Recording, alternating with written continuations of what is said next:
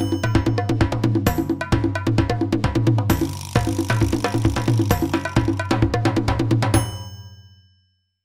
በፕሪሚየር ሊግ ትላንትና ተከናውኖ ነበረ። ይህ የፕሪሚየር ሊግ ጨዋታ እንግዲህ ድሬዳዋ ከተማን ከጅማ አባጅፋር አገናኝቶ ድሬዳዋ አንድ ለዜሮ አሸንፏል።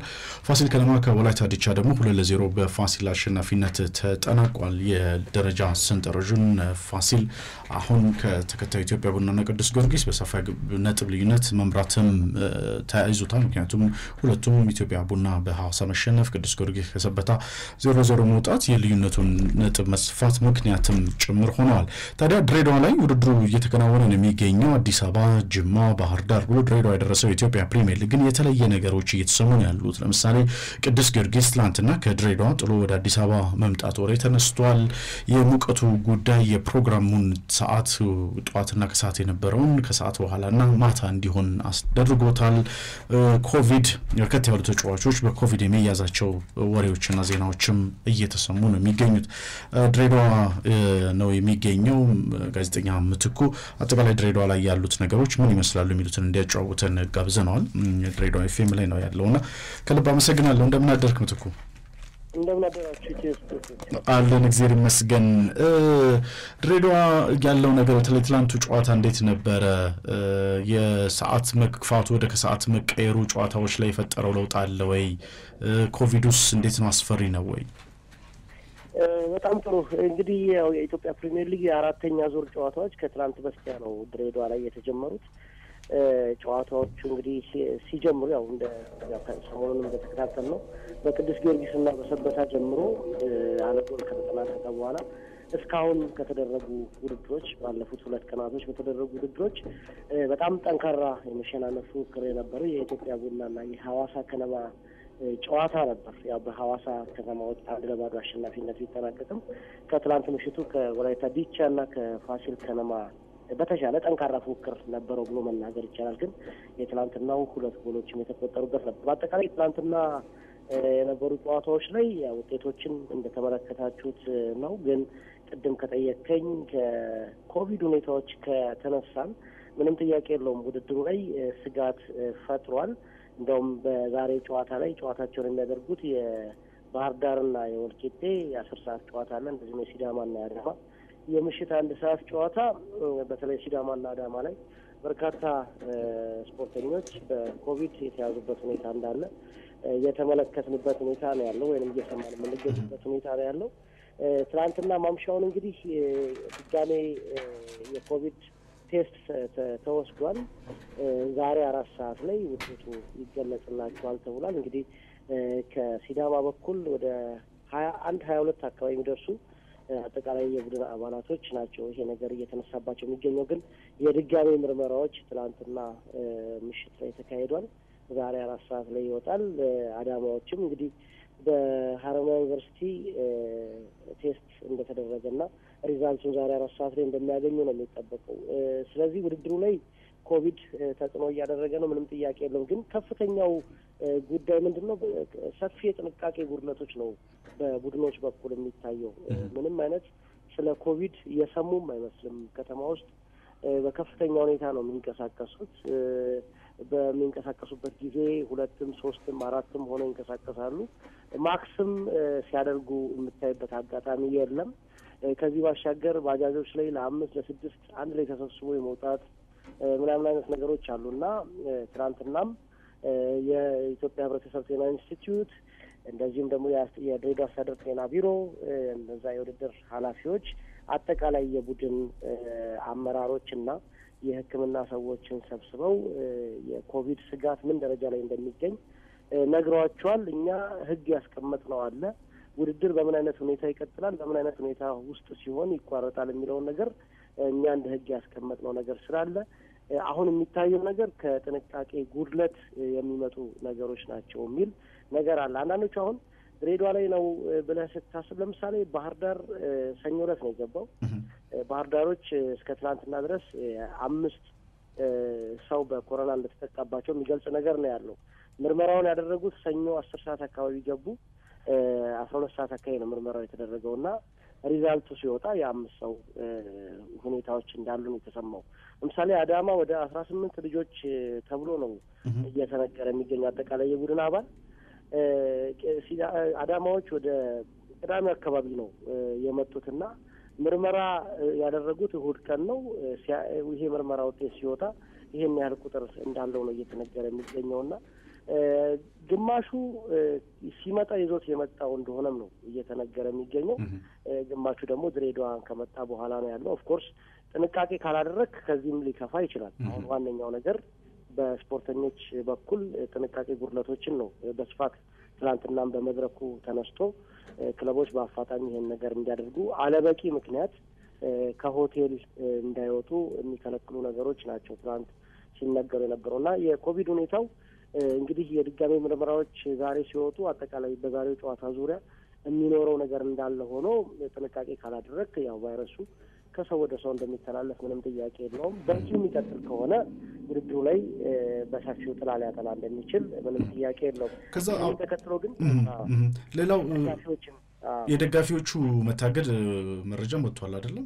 አዎ ከትላንት በስቲያ ነው እንግዲህ አሁን የሐዋሳ ከነማና የኢትዮጵያ ቡና ደጋፊዎች ነበሩ። የቅዱስ ጊዮርጊስ እና የሰበታ ላይ ብዙም ደጋፊ አላየንም በሁለቱም ክለቦች በኩል። ነገር ግን በሐዋሳ ጨዋታና በኢትዮጵያ ቡና ጨዋታ ሜዳ የገቡ ደጋፊዎች ያው ከዚህ ቀደም እንደተለመደው ምንም አይነት ጥንቃቄ ባልተሞላበት ያው በር ላይ የነበረው ችግር ምንድን ነው?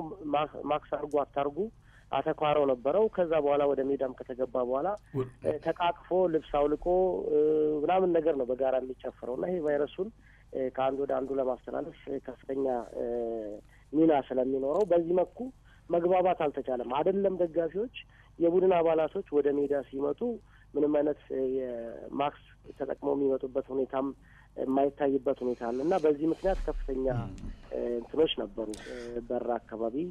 ስለዚህ የደጋፊዎች ስጋት ጥንቃቄ ጉድለቱ እጅግ በጣም በከፋ መልኩ ነው እየተስተዋልን ያለ ነው። ከዛ ውጪ ቅዱስ ጊዮርጊስ ቀጣይ ጨዋታው ከኢትዮጵያ ቡና ጋር እስከሚያደርግ ድረስ ያሉትን ጊዜያትን ለመጠቀም ወደ አዲስ አበባ መምጣቱ ተነግሯል። ቅዱስ ጊዮርጊስ ካነሳቸው ቅሬታዎች መካከል የኮቪዱን ያው አብረን የነሳን የጋራ ጉዳይ ቢሆንም የሜዳ ለመኖሩንም አንስቷል። ሰምተዋል። በተለይ አፈር ሜዳዎች ናቸው የሚል ቅሬታ ነበራቸው። መለማመጃ ሜዳውን ማለት ነው። ሁለት ነገሮችን ማየት ይቻላል። ቅዱስ ጊዮርጊስ ዛሬ I think ሚያዝያ አንድ ነው ዛሬ አይደለም በእኛ አቆጣጠር። ጊዮርጊስ ከሸገር ደርቢ ነው ቀጣይ ጨዋታው። ሸገር ደርቢው የዛሬ አስር ቀን ነው የሚጫወተው። ስለዚህ የአስር ቀን advantage አለው። አንደኛ ከሆቴልም ከምንም ከተለያዩ ነገሮች አንጻር ስታየው አንድ አውሮፕላን ነው። ወደ አዲስ አበባ መመለስም ምርጫ አድርጎም ሊሆን ይችላል። በሌላ በኩል የልምምድ ሜዳዎችን በሚመለከት እንደ አጋጣሚ ሆኖ የልምምድ ሜዳዎችን ፕሮግራም እኔ ነበር ያዘጋጀሁት እና ከተወሰኑ የኮሚቴ አባላት ጋር በመሆን ምንድን ያደረግነው ያው ድሬዳዋ ታሪካዊና እነኚህ የድሬዳዋ መገለጫ የሆኑ አሸዋማ ሜዳዎች አሉ። ምድር ባቡር፣ ሳቢያን እና አየር ኃይል ሜዳ ነው የተመረጡት። በተለምዶ አሸዋማ ይባሉ እንጂ አሸዋው እንደዚህ አስቸጋሪ የሆነበት አይደለም። አንተም ታውቋለህ። አድማጮቻችን ግልጽ ለማድረግ ያህል ያን ያህል ለመጫወትና ለእንቅስቃሴ አስቸጋሪ የሆኑ አሸዋማ ሜዳዎች አይደሉም።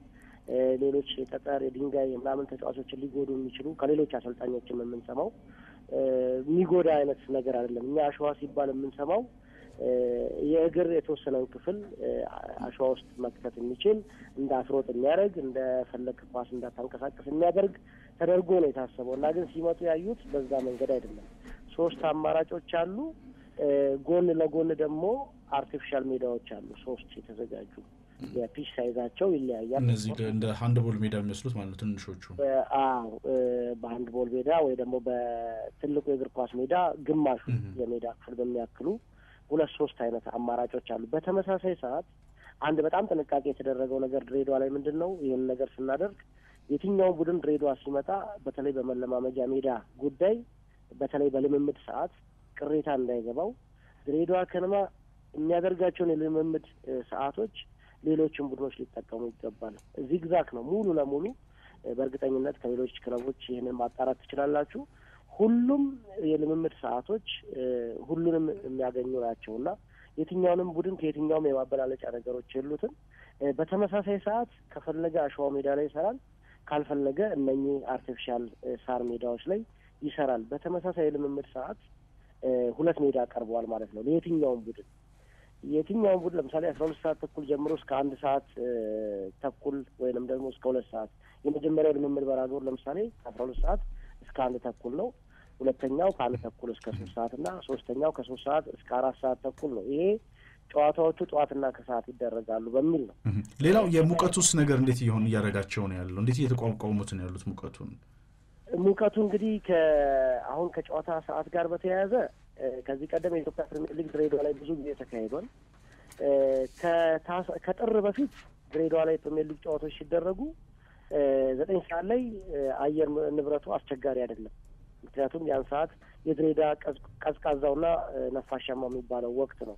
ከጥር በኋላ ደግሞ ያሉት ጊዜያቶች ብዙ ጊዜ ፕሪሚየር ሊጉም ድሬዳዋ ከነማ ሊገጥሙ የሚመጡ ቡድኖች አስር ሰዓት ላይ ነው ጨዋታዎች ይደረጉ የነበሩት እና አሁን ምንድን ነው ጠዋት ሶስት ሰዓት ላይ ከማድረግና ከሰዓት አስር ሰዓት ላይ ከማድረግ የትኛው ይሻላል የሚለው ነገር ነው የመጣው።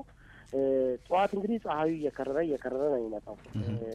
የመጀመሪያው አርባ አምስት ጠዋትም ቢሆን ለክፉ የሚሰጥ አይደለም። ሁለተኛው አርባ አምስት ግን ፀሐዩ ይጠነክራል።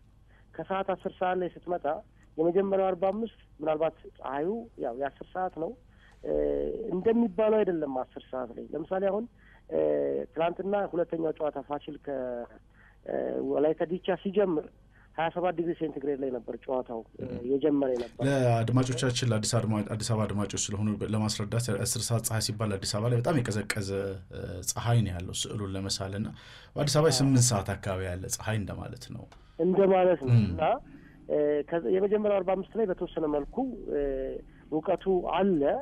ነገር ግን ሁለተኛው አርባ አምስት ስትጀምር እኔ እንደውም የአፍሪካውያን ተጫዋቾችን እንደዚሁም ደግሞ እነ ኬንያን የ DStv ባለሙያዎችን ስለ አየር ንብረቱ ምናምን ነገር በመሀል በመሀል ባገኘሁት አጋጣሚ ጠይቃቸዋለሁ። እንዴት ነው እያልናቸው ማለት ነው። አብዛኞቹ ተጫዋቾች just like የጋና አየር ንብረት ነው የሚሉ አሉ። ብዙዎቹ ያን ያህል አስቸጋሪ አይደለም። of course የተወሰነ ወበቅ አለው። ነገር ግን ከአስር ሰዓቱ የመጀመሪያ አርባ አምስት ከተጠናቀቀ በኋላ ግን እጅግ በጣም ለመጫወት አመቺ የአየር ንብረት ነው ያለው። ቅሬታ እንኳ ሊኖር ቢችል ከአስር ሰዓት ጀምሮ ያለችው የመጀመሪያው አርባ አምስት ጊዜ ነች። እሱም ቢሆን ከዘጠኝ ሰዓት ላይ ከሚታሰበው አንጻር ካየኸው በጣም በጣም የተሻለ እንደሆነ ነው ብዙዎች እየተናገሩ የሚገኙት እና አየር ንብረቱ ላይ ይሄኛው ነገር ነው ያለው። ነገር ግን የመብራቱ ሁኔታ እንዳያችሁት ነው ትናንትና በተሳካ ሁኔታ እንትን ብሏል። ክለቦች ቅሬታ የሚያቀርቡ ከሆነ አስራ አንድ እና ሁለት ሰዓት ላይ ማድረግ ይቻላል የዲኤስ ፕሮግራሞችን ከግምት በማድረግ ነገር ግን አስር ሰዓት ላይ መደረጉ ያን ያህል ብዙ ክለቦች እንደዚህ ቅሬታ ሲያቀርቡበት አሰማም። ከዛ ይልቅ የኮቪድ ሁኔታው ላይ ነው እንደ ቅሬታ የሚያነሱት። ግን ኮቪድን ካልተጠነቀቅከው ድሬዳዋ ውስጥ ብቻ አይደለም በየትኛውም የሀገሪቱ ክፍል በየትኛውም አፍሪካና በየትኛውም ዓለም ክፍል ያለበትን ሁኔታ እናውቃለን እና የጥንቃቄ ጉድለቶች ትልቁም ቦታ ይዛሉ ብዬ ነው። ጋዜጠኛ ምትኩ ከድሬዳዋ በጣም በጣም በጣም እናመሰግናለን። በሌሎች ቀናት ደግሞ የተለያዩ ጉዳዮች ላይ እያነሳን ሊጉ እዛው እስካለ ድረስ እንጨዋወታለን። አብረን ስለነበር ከልብ እናመሰግናለን። በጣም በጣም አመሰግናለሁ። እያደመጣችሁ የምትገኙት የኢትዮጵያን ኮኔቶ ኤፍ ኤም ሰባ ነጥብ ስምንት በማለዳ ወደ እናንተ የምናደርሰው ኢትዮ ስፖርት ሰኛው ፕሮግራማችንን ነው። የኢትዮጵያ ፕሪሚየር ሊግ በኮቪድ እየታመሰ ነው የሚገኘው። በእርግጥ ሊጉን እስከ ማቋረጥ ይደርሳሉ። በቀጣይ አስጊ ደረጃ ላይ ጭምር መድረሱን ወደ ድሬዳዋ እየሰማን ያለ ነው። ቅዱስ ጊዮርጊስ ከድሬዳዋ ጥሎ አዲስ አበባ መምጣቱንም አንስተናል። ባህር ዳር፣ አዳማ፣ ወላይታ፣ ሲዳማ ወደ አስራ ምናምን ተጫዋቾቻቸው በኮቪድ positive መባላቸውንም ዜና ሰምተናል። ባላቸውንም ዜና ሰምተናል። ባላቸው